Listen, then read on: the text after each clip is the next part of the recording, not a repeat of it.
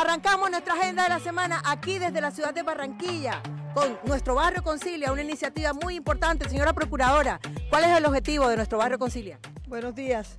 La idea es poder eh, lograr que en los propios sectores en donde conviven los ciudadanos se pueda lograr conciliaciones, lograr equidad y justicia social sin necesidad de que se trasladen las personas hacia la Procuraduría General de la Nación o hacia las oficinas de la Procuraduría en las regionales, sino que de manera rápida vaya la Procuraduría hacia los barrios y logre solucionar los conflictos del diario vivir.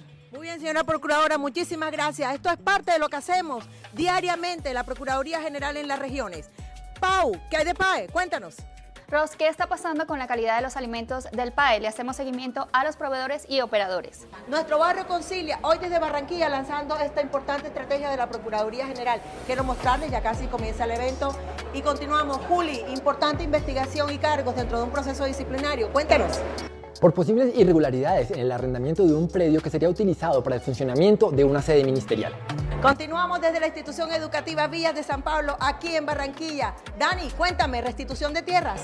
Procuraduría presenta balance de los procesos de restitución de tierras en el país. Nuestro barrio concilia desde Barranquilla. Connie, cuéntame, resultados de una investigación disciplinaria. Esperen decisiones contra un piloto de antinarcóticos que habría omitido presentar datos en un reporte de sus horas de vuelo. Muchas gracias, Connie. Bueno, Gus, ¿qué pasa con los recursos de regalías?